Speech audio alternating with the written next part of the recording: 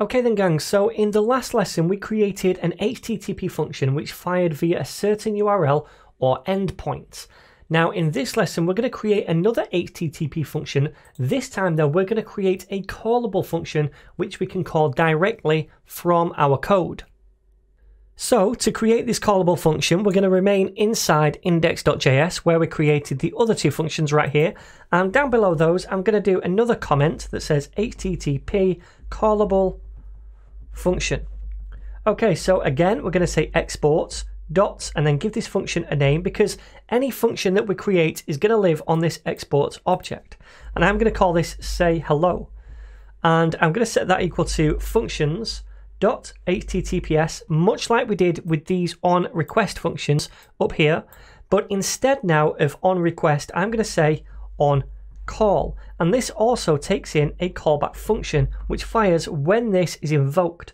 Okay, so unlike on request which takes in a request object and a response object, this function right here, when we use an on-call function, takes in two different arguments. The first one is a data object, and that represents any data that we send to this function when we call it from our code. And the second one is a context object, which has additional information available to us. And one of those bits of information is to do with the authentication status of the user. And we're going to see that in action later on. But for now, all we're going to do is just return a simple string. So I'm going to say return, and I'm going to use template strings, which is the backticks, and that's under the escape key on my keyboard. And I'm just going to say hello ninjas. The reason I've used a template string is because later on we're going to output some dynamic data inside this string and we can do that. We can output variables inside a template string in JavaScript. So then, that's all I'm redoing. I'm just returning a simple string. Much like we did up here, we sent a response, which was a string. This does the same thing. Now, this time we're using the return keyword and not response.send, and that's because we don't get the response object up here. So in order to send a response this time, we return something. Okay, so when we use the on request method right here, we use the response object to send a response. When we use an on call method, we don't get the response object, so we just return a response like this. So if I now save this, I could go ahead and deploy this by saying Firebase deploy only functions, and I'm going to click enter. Now, while that is deploying, I'm now going to do the front end because we now need to call this function from our front end code. So how are we going to do that? Well, first of all, I'm going to open up the public folder and I'm going to go to the index file right here. And I want to add a button at the bottom of this file because when a user clicks on this button, that's the point that we're going to then call the function, right? So if I go to the bottom of the section, we'll just do it inside here. I'm going to create a button and that is going to say, say hello. Spell this correctly, like so. Now, if I save this and preview over here, we should see a button down at the bottom. So I want a user to click on this, and at that point in our front end JavaScript code, what we're going to do is call that callable function in Firebase. So, how do we do that exactly? Well, first of all, we need to get a handle of this button right here so we can attach an event listener to it so we can react when a user clicks on it. So if I now go to the JavaScript app.js file over here, we currently have all of our modal JavaScript at the top. Below that, I'm going to do a little comment to say, say hello function call, just so we know what everything is inside here. And I'm going to grab a reference to this button right here. Now to do that, let's give this a class of call. So we can just reach in and grab that element with that class. To do that, I'll say const button is equal to documents dot query selector. And then inside here, we just want the dot call class. So it's going to go out and grab that button. Next, we need to take that button and we need to add an event listener to it. That event listener is going to be a click event. So when we click that button, we're going to do something. Now we don't need the event object because we don't need anything from the event object. Instead, what we need to do is get a reference, first of all, to our Firebase cloud function that we want to call. So let me just do a comment to say that's what we're going to do first of all.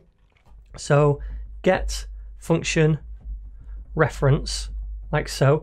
And we're going to store this reference in a constant and it's going to be called say hello. You can call it what you want, but I always call the constant the same name as the function I'm getting a reference to. And we called that function over here say hello. So I'm going to store it in this constant and then I'm going to set that equal to Firebase and we have access to this Firebase object right here because in our index.html file we imported the Firebase core library, right? Now on that Firebase object I want to interact with the functions. Now I can say dot and then functions, which is a function in itself, a method to invoke that. And we can do this, we can use this method right here because we added this script right here, Firebase functions. If we didn't add that, we couldn't add that functions call right here. So once we've got a reference to the functions, we can then say what type of function we're going to grab, and it's going to be an HTTPS callable function. So HTTPS callable, like so, and then in parentheses, we pass in the callable function we want to get a reference to, and that was say hello. So I hope that makes sense. We're using the Firebase object, then we're using the functions method on that, and from there, we're saying we want to get a reference to an HTTPS callable function, spell that correctly.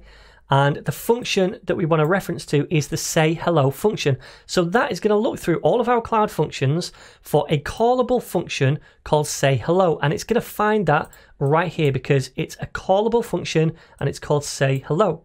So now we have a reference to that function. And if we want to actually call that function, if we want to invoke it, all we do is say, say hello, which is this reference right here, and invoke it. So essentially, what this does is grab that cloud function for us and store it in this constant, then we're just invoking it using parentheses. So this right here will go out and it will call that cloud function and then we'll get a response it's going to send that response programmatically so we can access it here in the code. So, because this is asynchronous and it's going to take some time to do, it actually returns a promise. And that promise fires a callback function when the function has been executed and it returns that response. So I can attach a dot then method to this and pass in a function with the result that we get back from the cloud function.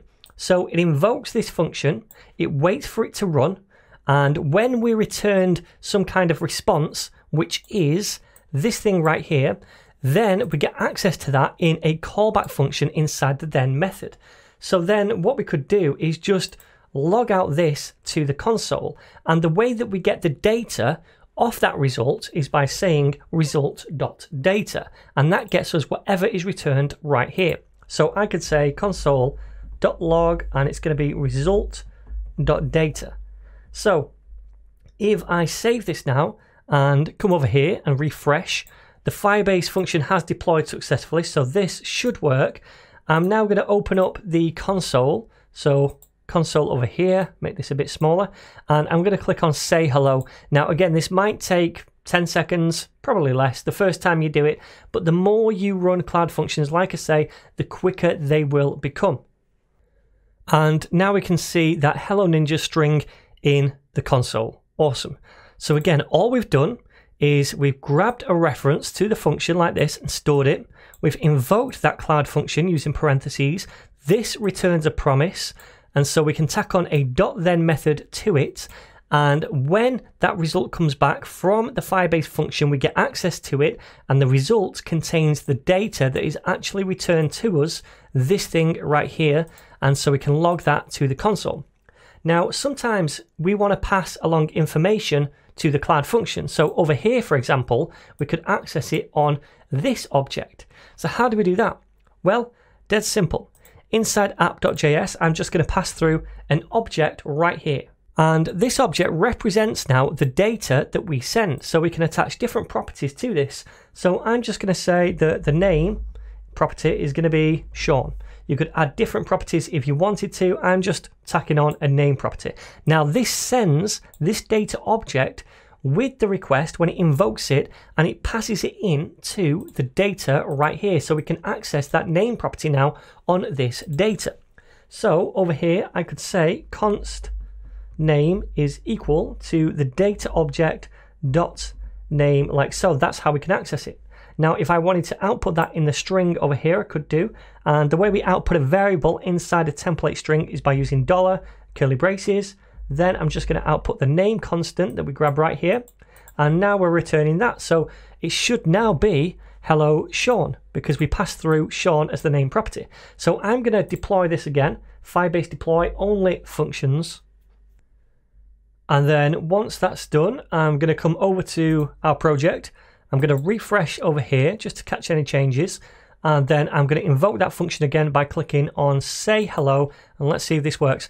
Hello, Shaun. So no longer hello ninjas, hello, Shaun. So it grabbed that data that we sent along right here from the data object right here and it output that in the string, which we then returned to the client, the browser, and we grabbed from the result and we output it to the console. So now we've seen how to create two types of different functions. We've seen the onRequest function and also the onCall function. We've seen how to deploy these and also how to invoke these. So hopefully now you're beginning to get kind of a good idea of how Firebase functions work. And now we know that, what I'd like to do is bring authentication into the mix so we can start to work with authentication inside these cloud functions as well. Now to do that, we're going to have to set up authentication on the front end and we are going to be using Firebase authentication to do this. So we're going to hook up a couple of modules to the front end similar to how we've done the request module right here. So we'll work on that in the next tutorial.